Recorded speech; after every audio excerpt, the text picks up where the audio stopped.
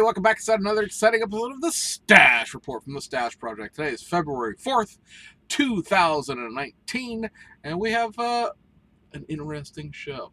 Now, when I was uh, initially developing this uh, episode, as it were, uh, we only had like a few things. There were going to be a couple of kit releases this week, and then we would have the new decals from SK Decals to talk about. Um, but otherwise, it really wasn't going to be too much because you know, the Nuremberg Toy Fair was this past weekend, and we really didn't expect too much from that in terms of, uh, you know, things to show you or things to announce necessarily. Um, however, Beemax uh, had a presence, and boy, did they ever, as you will see in a minute. So, uh, there are only three kit releases in this video. All of them are overseas. They wrap up the end of the uh, Japanese January kits, pretty much. Uh, and then we will go into the Nuremberg Toy Fair stuff. First up, we'll talk about the SK decals that are coming out uh, this the end of this month, end of February. Uh, don't necessarily have a direct hand in any development in these four sets, however, uh, other than championing them and going, go, Frankie, go. Uh, we'll be picking up all four of these, obviously, but uh, if you're interested, there are going to be three AMGs and one BMW M6 uh, liveries, and these are all going to be from the uh, fairly recently run. It's run in November, so it's only a few months old. Uh, 2018 uh, FIA Macau GT race. races, the last of the uh, sort of international GT races for the year. So as you see here, you're going to get you're going to get Farfus's car. He's driving an M6 again. He won the race. Uh, there's actually going to be a special little uh, extra bonus in with the decals commemorating uh, commemorating the uh, fact that he won the race. So that's gonna be cool. Don't wanna. If you were on uh, his Facebook page, you've seen it. If you don't, just order a set and uh, be surprised. I don't want to spoil the surprise. And the other three are going to be the AMGs that ran. they are the two Group M racing cars, the 888 and the 777 as well as uh, uh, Mortara's car, which was running the number one uh, this year. Um, all very cool stuff. Um, unlike the last time we, we did these decals, we did, like I had anything to do with this. The last time he did these decals for the Macau cars were all of the uh, AMGs pretty much were on the same sheet, and you just had to choose uh, which set of stripes and which set of sponsorships you wanted to use. The 777 and 888 cars, even though they're both Group M racing cars, are so far apart as far as their graphics go, they had to be split into separate sheets. Um, I don't see this as being a big deal. Uh, I know when we were talking about it in development, he was like, you know, I, I, feel bad about not being able to put them both on the same sheet. I'm like, well, I, I mean, I know people will buy decals because, you know, they like their drivers. People will buy the uh, 888 car because they are just uh, infatuated with Maro Engel per se. But for those of us who just want liveries of cars, have the option to build whatever car we feel like on any given day, we would we would buy two sheets of that decal sheet if it was an eight and a half by eleven you know sheet of paper to have both liveries on it because we would need to buy two to you know to build both cars. If you know, you know, we are talking about from last year's set where uh, all of the AMG cars were pretty much the AMG factory livery for most part.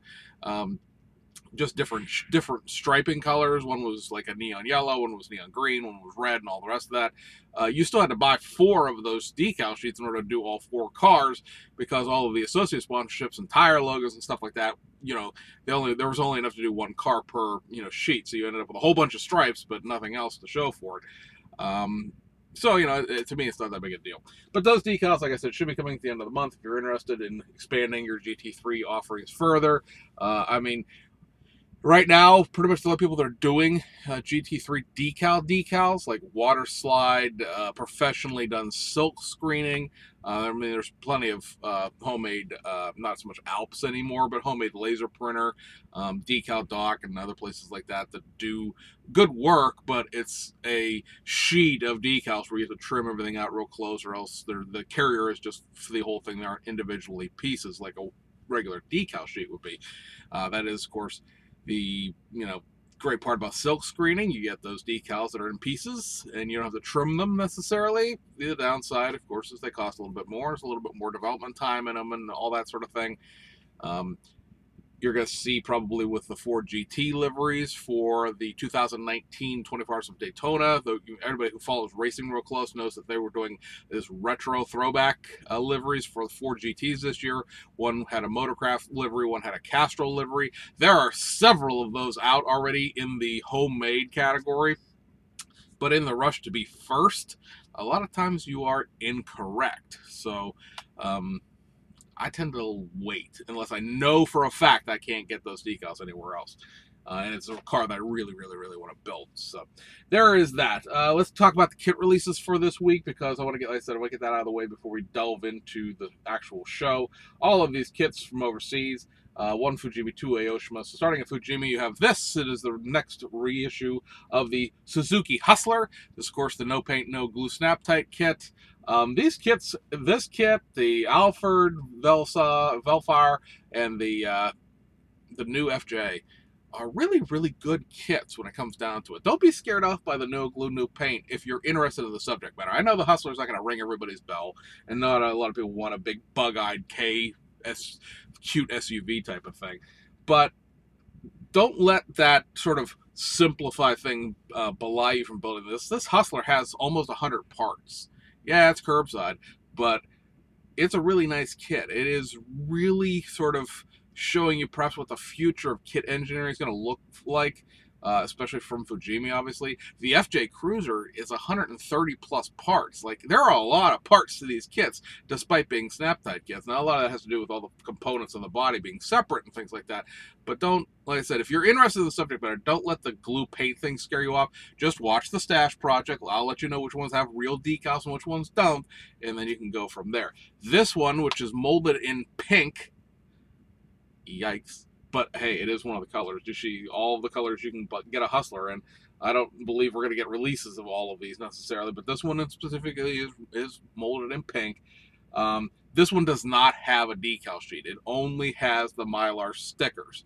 So, um, yeah, if you want one in pink to do like a no paint build, sorry, this really isn't the one for you. You're going to have to paint one pink. But unless you don't mind using the stickers, they're not that good of stickers. Um, like I said, the other some of the other hustlers do have decal sheets. Go back and watch the other videos when they came out in the last couple months. I couldn't tell you off the top of my head which ones do, which ones don't. Oh, this one does not. So then we have uh, the Aoshima releases. Oh, don't mind that. That's just my Qualcomm telling me that I am on a restricted truck route, I, even though I'm clearly parked. God bless the GPS in this system, but uh, I forgot to turn the volume off on that. So every every hour it cycles through to catch messages from our corporate operations and things like that. That way it's not constantly on and draining the battery of the truck, but that's what that chirpy noise was. Anyway, uh, Aoshima Kits got a one reissue. Well, there's both reissues. One's a straight reissue, one's a reissue into the new boxing line. First up is this. It is the uh, More Grand Champions. Uh, got the page on the wrong page here. Sorry, guys. The Japanese four door is what they call this one. This is, of course, a 1980s uh, Nissan Skyline, um, post GTR years. You know what you're sort of getting with these things. They're customized, uh, you know, kids it. Let's say, you know, much about it. This one doesn't have a whole bunch of gaudiness compared to some of the other ones. Uh, it's like a new grill, new headlights. Um, it's got some ground effects, a different, you know, obviously the smaller sets of wheels that the Grand Champion Series runs. A sort of non-integrated, almost a Z20, 70 Z28 style uh, rear spoiler to it. But it's not like, whoa, over fenders, like some of these ones are. So a little bit milder uh, version, but it's still, uh, you know, it's an old kit and everything else that goes with that. The other release from Aoshima this month is this. It is the Nissan uh, Pajero Metal Top Wide, the uh, two-door, as, as it were. Um, the Pajeros, as we talked about before, come in like three sizes. There's the Pajero uh, Junior, which is a case uh, size two door. The Pajero itself, which is a regular sort of full size uh, ladder frame truck, you know, SUV, truck SUV back in the day. Uh, that is a two door, and then there is the Montero Pajero, which is a four door, which is what we got here in the United States. Obviously, is Mitsubishi Montero. So this kit uh, has been around for a while. Uh, it got reissued not too terribly long ago, so I didn't pick this one up because I got the last issue. Um, I'm trying to think what year this is supposed to represent 1991 and uh, it has a lot of the optional parts in it from all of the other releases of the Pajero over the over the course of time. So there's a couple sets of wheels here. There's uh, a roof rack there's roof lights there's a grill a couple of different uh, like roll uh, not roll, rolls but uh, bull guards if you will there are a couple different uh, front um, brush guards with lighting options. There's like a ladder rack for the back. So you have a, a, bunch of extra parts in this that I think make the kit worth a little more in the value sense um, if you're interested in something like that. So that, guys, like I said, is going to wrap up our kit releases for this video. Now, if you don't care about race cars at all, you can go ahead and have a nice day, and we'll see you guys on the other side. If you are into race cars, well, we have the episode for you. So we're going to talk about uh, the kits that were announced, I guess we would say, in some cases, shown in others, uh, from the uh, Nuremberg Toy Fair. Now, Heller was there in some aspect of being in like a hobby shop's display. Heller did not have a booth this year. They're continuing to flounder around aimlessly, I guess, at this point. So estafette van probably never. I don't know. It just just seems like they can't every time they seem to have their act together they immediately lose their act within a couple weeks. If they were a broadway production show they would be opening things on very small off-broadway theaters that would close the weekend they open. So there's nothing to talk about there. Airfix didn't have any cars at least not that i saw. Um, we've already talked about the Revell of Germany stuff, uh, or the Revell stuff at this point. Um, they did have a one-to-one scale Deutz tractor there, which is their new farm tractor kit that they're going to come out with this year. So that was kind of interesting. But the the actual like kit itself, the new Land Rover Series 3 and the AAR Cuda were all shown as box art, but there wasn't any parts. There were no tooling. It was just, I mean, it was a huge booth. It's probably the largest booth that Revell has run since I've been following very closely and doing the show for the last four years. But it's that you know there wasn't anything to show for it per se. Hey, look, some box art, fantastic, great. What about the kit itself? Nothing. So that left us with like Aoshima had a booth, uh, Belkits had a booth. Um, I had pictures, and now I don't know where they went because I'm sitting here looking at the screen of the uh, Belkits uh, Ford Fiesta, the 2017 World Rally car, which I don't believe I have anymore because I don't see them on my phone because I've been like downloading pictures off the internet on my phone, transferring one on my computer to record the video, and then transferring them back onto my phone to upload it. But uh, be that as it may, they showed off the new kit, the the uh, because the World Rally car, the 2017 World Rally car, the Red Bull sponsored car, the car that won the championship in 2017. That kit is available right now, I believe, only through Domino, which is their uh, Belkit's retail arm in Belgium. Uh, they're running like 55, almost $56 or 56 pounds. I think it comes out to close to $60. Um, I expect Spot Model will probably get it next because they're in Spain, so European shipping. Uh, I'm sure that M&S Hobbies will carry it at some point in the future when the you know the supply gets to the United States. Right now, none of the uh, Japanese companies or Japanese websites have it for pre-order because, of course, that kit will be distributed through Aoshima, like all the rest of the Belkits uh, kits have been in the past, but you're probably looking at like six months down the road for that to happen. At least with the Opel Mantas, there was a nearly six month delay between the time that the kits were uh, on the market in Europe and the time that Japan actually received them to distribute them through uh, Aoshima.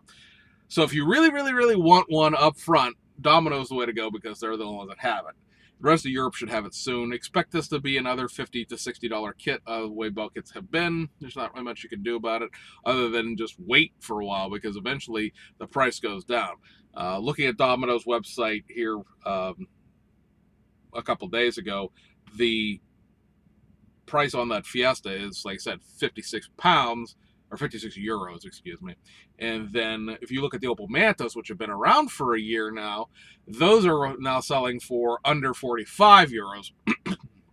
excuse me, which would be cheaper than anywhere else you can get them at this point. Uh, shipping from Belgium, uh, notwithstanding, but that's a good five to seven euros cheaper than spot model. Um, it would probably wind up being about what it costs from M&S because 45 euros is close to $50 with a really crappy exchange rate with the euro. Um, But you know, it, like I said, if you want one, they're available. There is going to be a second Fiesta kit. Uh, they did not show it. They showed the box art, but they actually had the parts and the decals and everything uh, available on the thing. It's nothing you guys haven't seen before because we've shown that stuff to you, but I don't want to not. I don't want to neglect and pretend like they weren't there. So they were there. Uh, Aoshima had a booth. Tamiya had a booth, and then the surprise because I didn't really look for it in the listings of the vendors was Beemax was there. So let's talk about Aoshima real quick because they had a little teaser at their booth which uh, announced in effect a new uh, kit. Hasegawa was there as well. Don't want to discount them, but nothing was there that we don't know about. Uh, they were basically showing existing kits, like they had the parts runners and to the RC91 and uh, and things like that. But of course, that kit's already come out a couple months ago, so they were more like, "Hey, here's the things we have available, European vendors. Why don't you purchase them for us?" So this, like I said, from Aoshima. Uh, showing their newest addition to the Aoshima Supercar Series scheduled in 2019. So for people who can't figure out what this is just by glancing at it, I mean, there are only two options when it comes to Paganis. You either get a Huayra or you get a Zonda. So this is going to be the Pagani Zonda. It is the car that uh, launched Pagani for all pr practical purposes as a car manufacturer. Um, they were made from 1999 until 2017. A lot of people don't realize that the Pagani, it's the Huayra itself. They only were only supposed to make a hundred of them because that was the engine agreement with Mercedes-Benz and AMG for the engine. Uh, and they were all sold out in 2015 before the cars were even made. So the Pagani itself right now doesn't make a car because the Huayras ended production at the end of 2018. So right now Pagani doesn't have a car to make. Uh, be interested to see what they do in the future. Um, they've certainly made some very, very unique cars over the years. But yeah, I don't know when in 2019 we're going to get a Zonda. I mean, I suppose we'll tune in uh, with eager anticipation to the Shizuoka Hobby Show in May to see if they uh, have anything else other than a silhouetted highlight in terms of kits. So I don't know if this is, you know, a summer kit in the sense that it will come out July, August, September after Shizuoka, or we're talking about this being like an all Japan Toy and Hobby Show announcement in October that'll come out towards the very, very end of this year. Um, but you know, for people who like Paganis and really want to know why they never made a Zonda to begin with, well, the answer is they are going to make a Zonda. I'm not really sure what needs to be done with the car in terms of how much parts sharing can go with it because I'm pretty sure the engine is pretty similar. Maybe it needs a new top end, but I'm pretty sure the block itself could pass uh, between the two in terms of, you know, they're both the same engine block basically. So that's coming out, so that's kind of interesting. Uh, you can see some of the other debris in the background for their booth, just showing kits that are, of course, already released. Uh, Tamiya had their booth, and of course, one of the things they had uh, right up front for everybody was the TS050. Now, if you're not into racing, the TS050 is the prototype series car that won, outright won the 2018 24 Hours of Le Mans. Also ran the rest of the World Endurance Championship, um, which technically the season for the World Endurance Championship runs summer to summer one year and then beginning of year to end of year in the next year. There's some weirdness with that. I'm not exactly sure how how exactly anybody thought that was a good idea, but they've got to go through the uh, come back to, to, the six hours of Spa Franken champs uh, before they get to end the actual 2018 World Endurance uh, Championship Series. So here's a picture of the built kit with the decals showing off in the background there. Uh, some people have complained that there are no actual Le Mans wording on these. Um, I don't know what to tell you on that necessarily, other than the fact that if these decals are the final product, like they're done and this is what you're going to get, I guarantee you within like a month, if less, somebody will come out with a uh, you know, a little sheet of decals with the logos for the 24 Hours of Le Mans. They may not have wanted to pay for the licensing for that, perhaps the licensing between, uh, you know, the actual Toyota product itself, and they've got Michelin, uh, you know, decals for the tires and things like that. Maybe that was a little bit too much, and they didn't want to pay for the rest of it. I, I couldn't tell you. It looks like the only carbon fiber you're going to get with this is the carbon fiber that surrounds the headlights. Um, so that's kind of cool, but car needs more carbon fiber. I expect Studio 27 will come through there. They tend to do that with uh, Tamiya kits in general. Looks like you'll be able to build this either as a 7 car or the 8 car, so he's got the red trim or the blue trim.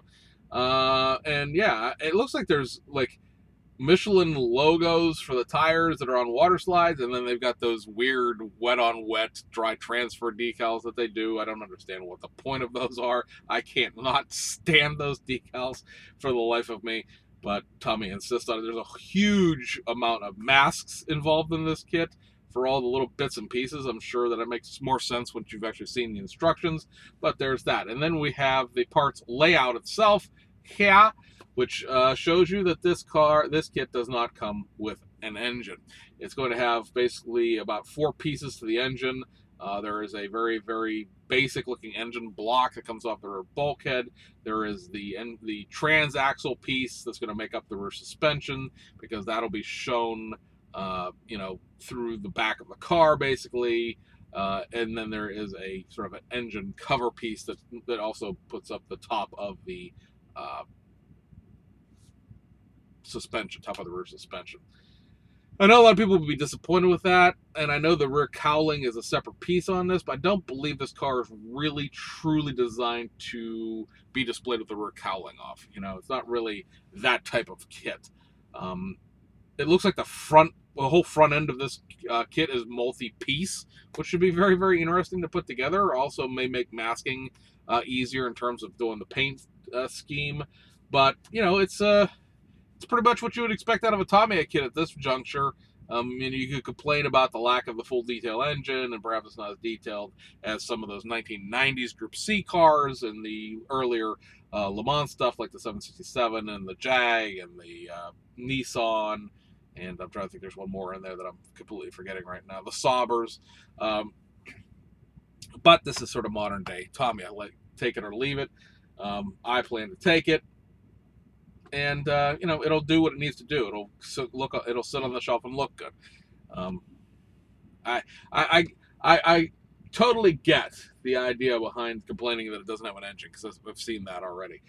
But at the same time, you have to understand that if they release this kit sometime in the like the fall, maybe the winter, maybe they could have done something with that because the the rules and prototype in, in WEC are changing to the point where I don't believe the TS050 is going to be able to run in the 2019 season that starts after the middle of the spring of this year. Uh, but currently, the car is still, you know, in a series, so they probably were not willing to show Tamiya, hey, here's what our engine looks like. Um, so, you know, it is what it is in that sense. Uh, I'm sure that aftermarket decal suppliers will take care of uh, giving you the WEC liveries as far as the World Endurance car specifically, as well as the 24 Hours of Mons. I would not be too terribly worried about that, and said, I'm sure Studio 27 will eventually do a carbon fiber set for it because they just they do that with race cars, and I thank them for it. Hmm, excuse me. And so let's go over to the Beemax booth. Beemax didn't really have a whole lot of stuff there in the sense of like, oh, look at all of our stuff, but they did distribute catalogs which if you are on Facebook or some of the major modeling forums, you've probably seen some of these pictures because they sort of lit the joint on fire in a very interesting way. Either you are superbly interested in almost everything that I'm about to tell you, or you cannot stand the fact that this company will not make you a street car. Understand that they are not going to make you a street car. I don't care how much you ask them to. They make race cars. That's what they do. It's like asking Belkits to make a factory stock Ford Fiesta, not the World Rally Championship car. Understand that uh, there's there are like two modes of operations within the hobby right now. You have the Moebius, Revell, Salvino kind of American kind of thing. Uh, Revell, Germany, also in this group. Uh, Tamiya, I want to say, would be in this group too. Very, very safe, very conservative. Uh, you know, they're aiming for a customer that has been building models since the 1960s. They expect that experience, they expect that kind of kit, they expect that type of building experience. They're not looking for innovation, they're not looking for new stuff, they just want to feel comfy cozy in their basements.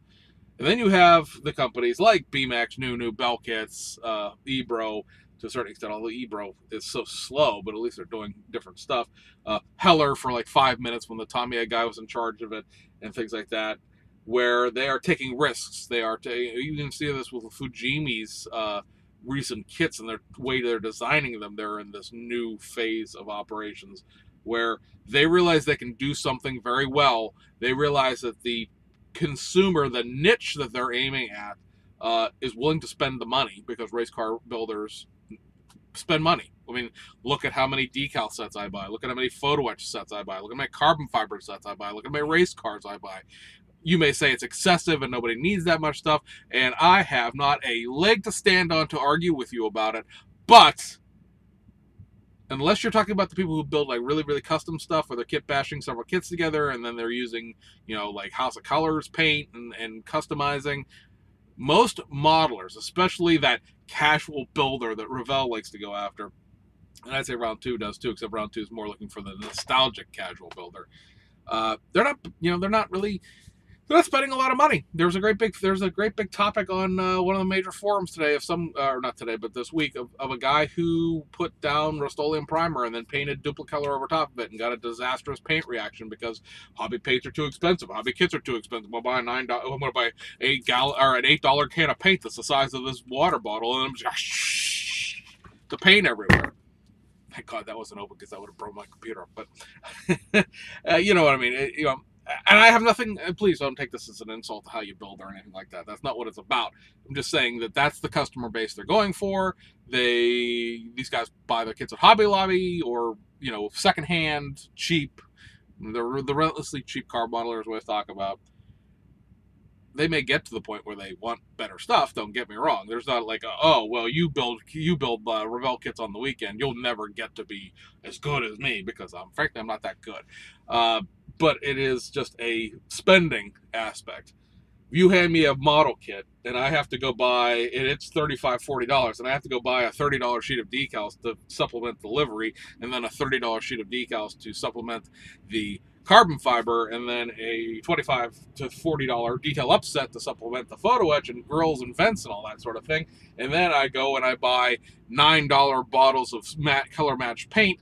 I'm just putting more money into each model. Now, I'm not saying you have to. This is the wow. We got off on a tangent here that has nothing to do with the subject matter. But I just want to say the, the, the point, the peg leg Pete, the general point, the thing we're trying to get to here is the fact that Beemax and Belkits specifically have figured out that there is a market for people who want to do these things, and they are not afraid to crack their wallets open, buy more than one of each of the things, buy the detail upsets that are coming with the things, and then the aftermarket decal companies um, we're not seeing a lot of GT3 movement, granted, because it's really only uh, SK and then Racing Decals 43 is making a comeback as far as water slides go. But there's a lot of movement right now in the rally side of things. There's probably like nine or ten liveries for the Opel Manta at this point. There's a couple of photo etch sets for it. There's, a, there's the whole Transkit conversion to make it the very, very specific Spanish rally versions of the car.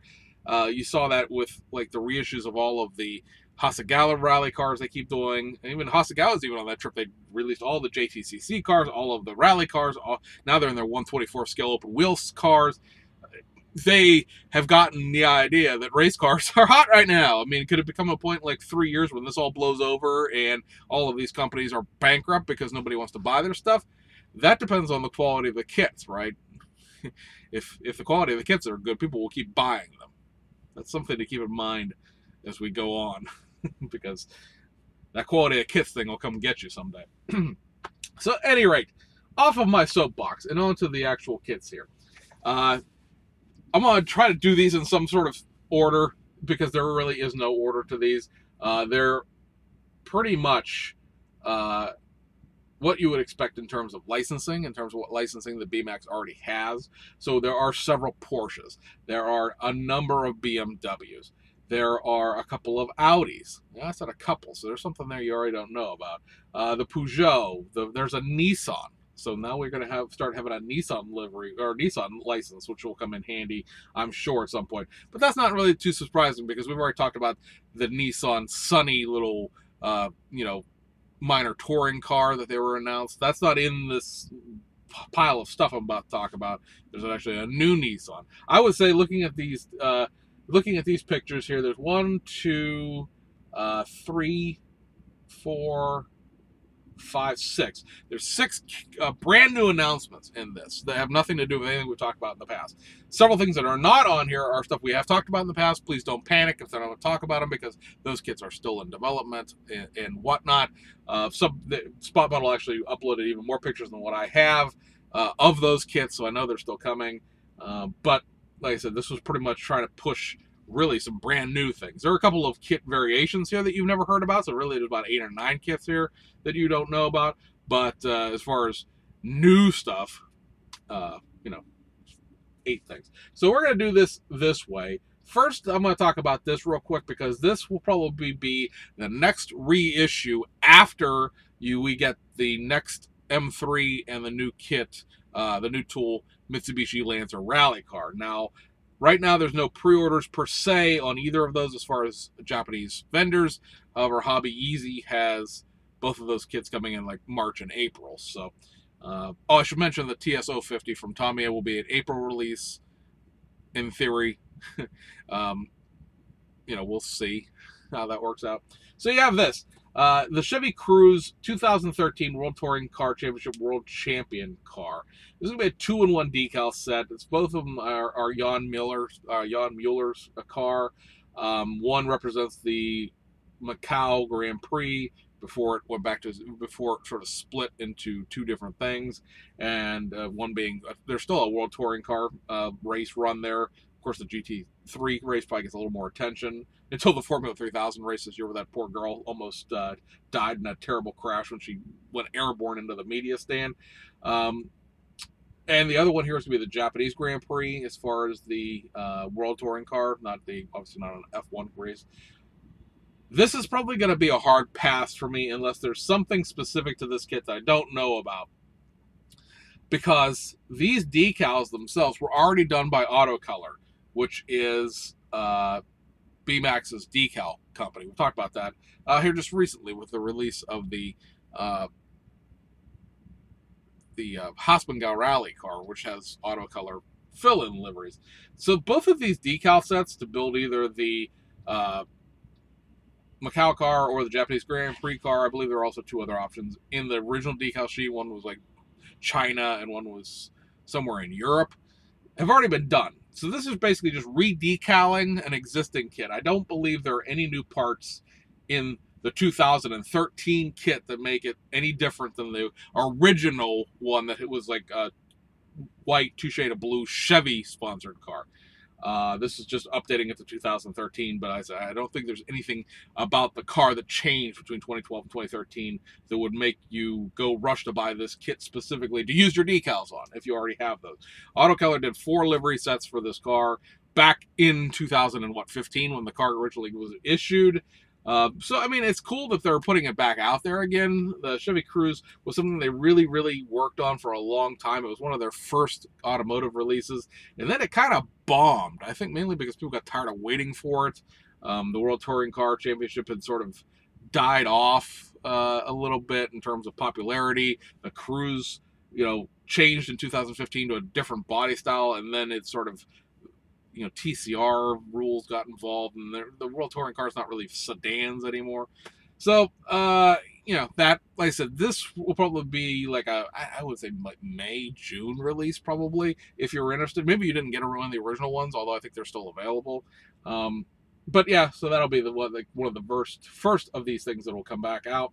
Uh, I believe this will probably be like the next thing because it has a reference number, meaning that it already has a stock number, and a lot of these things do not. And that is this. It is going to be a McLaren MP42C for the Portugal Grand Prix in 1986. So there's going to be two livery sets in this. looks like a red Marlboro and a yellow Marlboro. I think it's Alain Prost and Keke Rosberg is who the drivers are here. I expect that Keke's last name isn't capitalized. There's already a detail upset designated with a stock number for it. So this is a modified reissue. The MP4 2 was the original, because uh, you consider the B2, BT52 Brabham being the second one. This is the original 120 scale F1 car uh, that had a lot of, this is where Aoshima really had a lot of hand in Beemax when it started. Um, so this, I don't know exactly what the difference between a 2, a 2B and a 2C are specifically, because but that being as it may, you probably do if you're an F1 fan. Uh, so know that, like I said, it'll be a two in one. Um, you're going to both decals in the in the kit, uh, so you can choose your driver, choose your livery, and uh, yeah. So that, like I said, that should probably be a summer release. I would expect because you're gonna get some new parts and some new decals. Nothing too wild and crazy there in terms of the uh, you know releases. Now from there, you look at this stuff and you try to like play prognosticator in terms of like what's gonna come next. What do I think is the release order of these kits, right? So I would say that the next thing that you're going to see after that will be this. This is going to be a modified reissue of the Porsche 935. It's going to become a Kremer 3 at this point. We told you that was going to happen from the K2. Uh, and this is going to be the 1979 Le Mans winner. Um, this, I say this is coming next because you notice this is not a picture of a car. It is a picture of a built test shot. Uh, the rear wing on this is really different from the original K2. But so this will be probably the maybe one of the other next reissues. Um, because there's some different pieces and parts here. You know, you know, you could you knew other kits were coming with the fact that like the sides of the rear fenders were separate and things like that. Um, but it'd be cool to have a Le Mans winner, you know, to go out and buy new decal sheets uh, for that. I know a lot of people like build Le Mans cars specifically, but um, I do like the fact that they spelled Le Mans all as one word, which is what I tend to do when I type it into a search engine. So I appreciate the spirit animalness of that. I would say that the next one of the next new tools that's going to be released will be this because we've already seen a prototype that looks like it's more plastic than you know clay, and that is this the uh, BMW E46 S Super 2000 uh, DTCC car. Um, only, like I said, because we've seen at the most recent Japan model show that there's a plastic prototype of this. So that means this is further in development than some of the 3D prototype images that we've seen in the past. So uh, that'll be a fun kit. We've already talked about it in the past. Um, some other things that are uh, sort of clay, if you will, some of the things we've seen prototypes of are this, the Porsche 911 Group B rally car with the Rothmans livery. Very, very interesting to see if they actually include the Rothmans actual livery in that. Uh, if not, I'm sure they'll be in a detail upset near you. This is a prototype we've seen before. It'll be interesting to see if this comes in plastic uh, in terms of a prototype at Suzuka or not. Um, this would be one of the things that's you know in development uh, more than anything else. A lot of people complain about the fact that that uh, they don't think the rocker panels are the same on this, and it may not be. I don't know. I just still can't figure it. Because some people seem to think that they're they're trying to make a Group Four race car, not a rally car, out of it. So that would be the difference there. The other thing we've seen a prototype of would be this. It is the Peugeot 306 Maxi uh, rally car. This, of course, would be uh, a 1990s era rally car. We've seen, like I said, the rapid prototyping of this, so it should be further along in development by now perhaps a 2000 a legitimate 2019 release. Uh, another modified reissue that probably will come out this year will be this, uh, the Porsche 935 K3 uh, 1979 Le Mans Paul Newman car. Uh, this is the Dick Barbour racing car that Paul Newman ran, uh, along with a couple other drivers in the 1979 Le Mans. I think he finished second in this car. Uh, so it's a different front bumper and a different rear spoiler. Uh, I think this is actually like a K2, K3, 935, 77. There's a weird thing going on with this car. There's there were only so many Kremers ever built, and some of them were rebodied, and some of them were not, and uh, some chassis, of course, were destroyed in racing and replaced. Um, I think this is really a 1978 K2 that ran like the IMSA series that they then took to Le Mans and modified as a K3 car. I don't think this is because Dick Barbour Racing did get a K3 car, but I don't think this is technically the one. There's a, you really have to start diving into the history of the Porsches to understand uh, some of the goofiness that went on with you know because you're ordering cars from the factory basically. Know, it was delayed, it didn't get delivered, and oh hey now we got to run this other thing. So. Uh, like I said, another modified reissue from the K from the 935. They're not going to pile them out too fast. I don't think. I don't think they want to kill the market with releasing five of the same thing. Uh, you know, just observing the general market, you can see how well that works sometimes.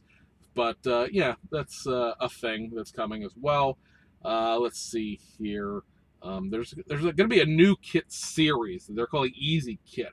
I don't know what's so easy about these kits exactly. They didn't specify, but there are three brand new kit announcements for this Easy Kit series. I don't know if they're going to be snap tight, if they're going to be what. Uh, the marketing material says water slide decals, so they're not going to be completely and totally uh, like cheaped out. But first up, you have this. It is a 124 scale Mazda Nissan 280Z. Uh, this, of course, would be uh, uh, Paul, or not Paul Newman, but uh, actually it is. I think it is Paul Newman's uh, SCCA car. So very interesting to see them go in this direction. This American race series. Granted, it is a Asian car. Uh, very, very, very famous driver. Uh, and just person in general, let alone race car driver. But yeah, so that's kind of interesting to see. Be interesting to see what this, what these easy kits are going to be about. Uh, then in the next thing in the easy kit line is going to be this, which is a 124 scale BMW 320 Group 5 car. Now, this is something I have been wanting and desiring for a really long time. Now, Tamiya did a Group 5 320, but it's in 120th scale.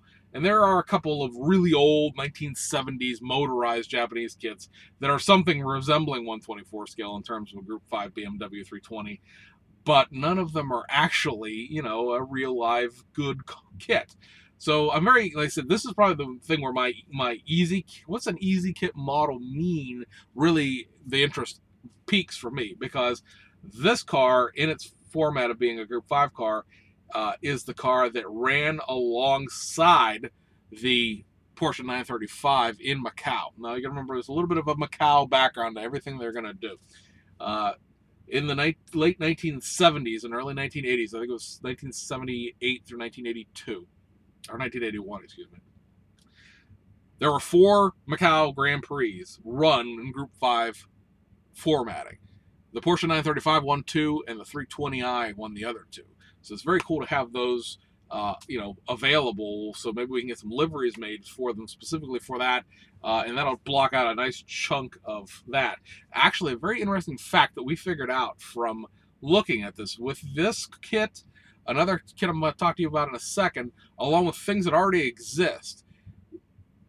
You will be able to build every single winning car for the Macau Grand Prix from 1979 until 2004. Every one of them. Some second place and third place cars too, but every single winning car will be a uh, base kit will be available. Decals not yet, but base kits. Base kits available. Every car for Macau for you know two and a half decades. Very cool. Um, you'll be able to build some of the World Touring Car Championship car from 2012 2013. Uh, and then with way that Frankie's got the SK decals, I believe you can uh, build several of the years winning cars, at least from 2015 to now, uh, as far as the uh, you know the Fiat GT thing. So that's coming out, and then there's one more easy kit, which is this. It is a BMW M1 Group 5 car. I've already seen a couple people, what do you another M1 for? The SC Larry Protar.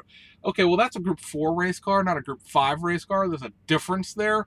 Uh, may not be something that registers in your closed mind, but for the rest of us who can have two pair of working eyes and know that Group 5 was a thing, uh, yeah, how about a Group, how about a Group 5 M1? Um, some very cool racing liveries just on these uh, two cars. Um, the BASF car in general looks like a decaling nightmare. Uh, so I really, I'm very, very interested to see what these are when they come to fruition. Are they going to be uh, an easy kit the way the Fujimis are, where they're very, very multi-piece, uh, modular kits uh, that allow for future product development? Uh, are they going to be like build and play snap type kits? Like, what what about them is easy? Because Beemax kits aren't hard to begin with, right? They're not they're not overly complicated. They're not really like out there in terms of build quality, parts content, uh, just you know being difficult to assemble. So I'm not really sure what's going to be easy about these. I'm very very intrigued about what the easy kit line is going to actually mean in reality. Somebody's banging a trailer on the back of the truck stop here. So let's talk about some of the other kits that are going to be released that we've already talked, we've already seen like mentions of when that whole dump of information came out and then got pulled back. So there's this. It is the BMW E90 World Touring Car Championship. Uh, says there's going to be two livery sets in this, so that'll be interesting to see what those two livery sets are. Um, they this car may be somewhere in you know, development a little further along than I think it is. If you're already saying there's to be two decals for it, you probably have an idea at least what those two decal sheets are to be. Uh, then you have this, which is one of the other E46 cars, the M3 GTR uh, kit. So we already knew that was coming out. That was in the data dump. A new announcement uh, that came out this in this show was this: the Audi A4 1996 uh, British Touring Championship car. Uh, this is very, very interesting. A lot of people uh, sort of shrugged at this one. Well, there's a resin kit of that. Okay, A, it's expensive. B, it's resin. And C, a little known fact to a lot of people uh, is that during the most recent spate of California wildfires this year, uh, mercifully, the family and proprietor are okay, but the guy who was casting these for M&S uh, he lost everything in that fire. Like the masters are gone, the molds are gone. It, it's very, very doubtful that you would ever see this kit, uh, a supply of this kit come back. Like if you don't buy one of these now, uh, good chances you won't ever get one. Um, I expect this will probably get a D1, uh, the D1, the uh, the German touring series that ran in 1996. It's not DTM. It's something else that's just off my mind, top of my mind. Um, and then this car also won two races in the 1990s in Macau. So expect some liveries for that as well. This is another like key plug-in for the Macau uh, connection that Beemax has. Um, let me see. Is there anything else? Because uh, we have more to talk about. I'm trying to make sure I got everything in this part done, and I believe I do. All right. So the other thing that Beemax owns, of course, is NuNu Hobby. Uh, people will insist that that's not true. Uh, uh, you argue, fight, rant, rave, act a fool, uh, whatever. It's your life, not mine. Uh, but they clearly do because they're in the same catalog. So one of the things we've already known about, two of the things we already know about, we know that they're doing a modern 911, and we know they're doing the Audi R8. What came out of this is the fact that they're actually doing two modern 911s. The Porsches, the Audi is probably going to come out first. From what I understand from talking to some people who know some people over there, the Audi is further along in development and may come out in early summer if if all the things go the way they plan to. The 911 is a little bit delayed because probably first of all Porsche, but second of all, uh, they decided to change development midstream when they realized they really couldn't get everything they wanted off of one model, and they needed to split it into two.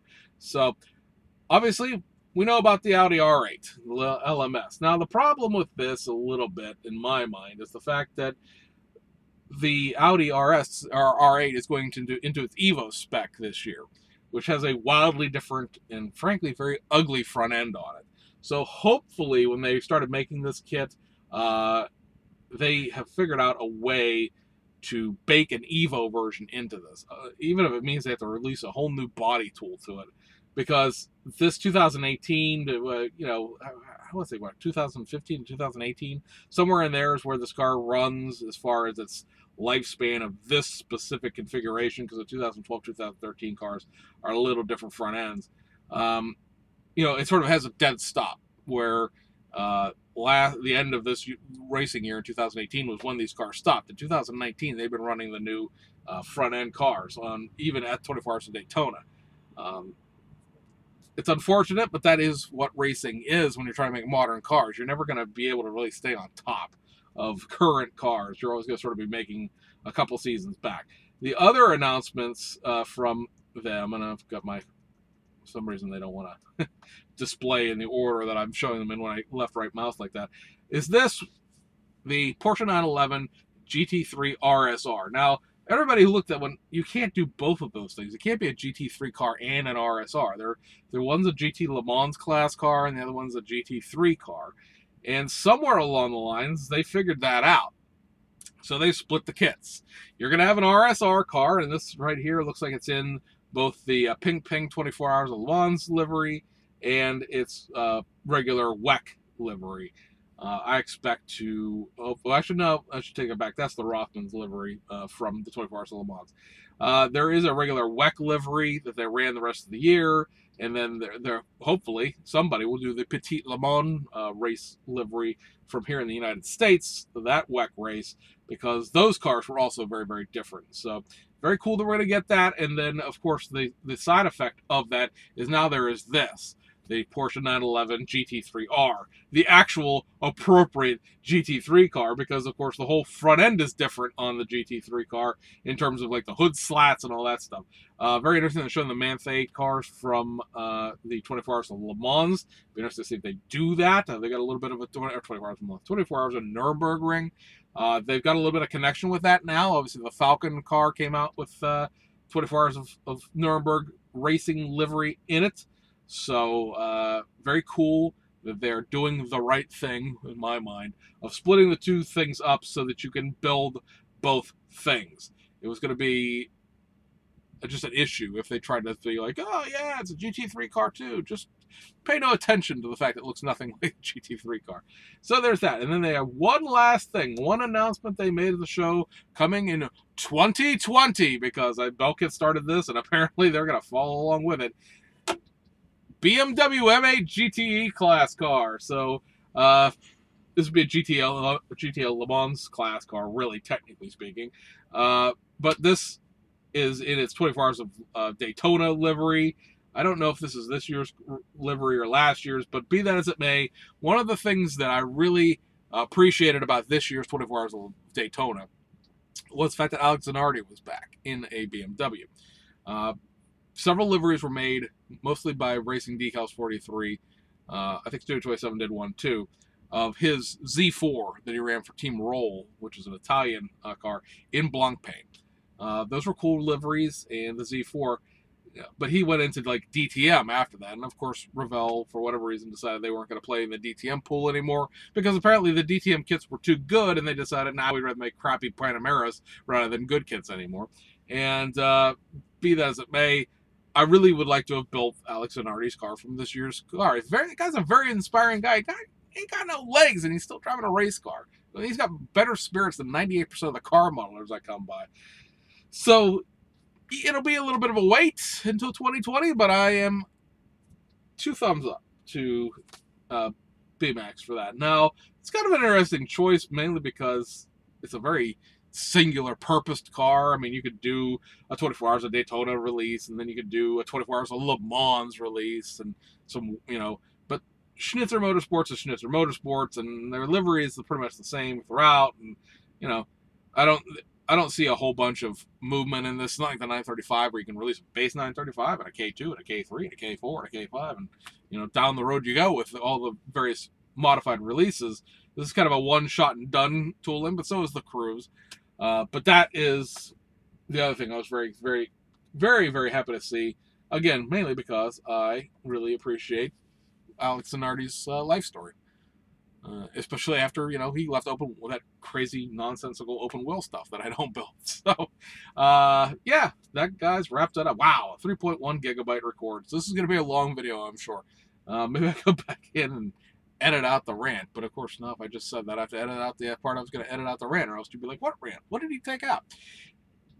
That, guys, was not what we were expecting. We were expecting a 10 minute show. These are the three kit releases. Look, new decals from Hobby from uh, SK Decals. Woohoo! And off we went. But no, Beemax showed up and went, uh, excuse me, we have things to discuss. So, Anyway, hope you enjoyed it. Hope you found something in there that's going to trip your interest over the course of probably the next two years because all of that stuff's not coming out in 2019. There's just no way. Uh, but uh, now you know what to uh, sit around and lust after. See you guys on the other side.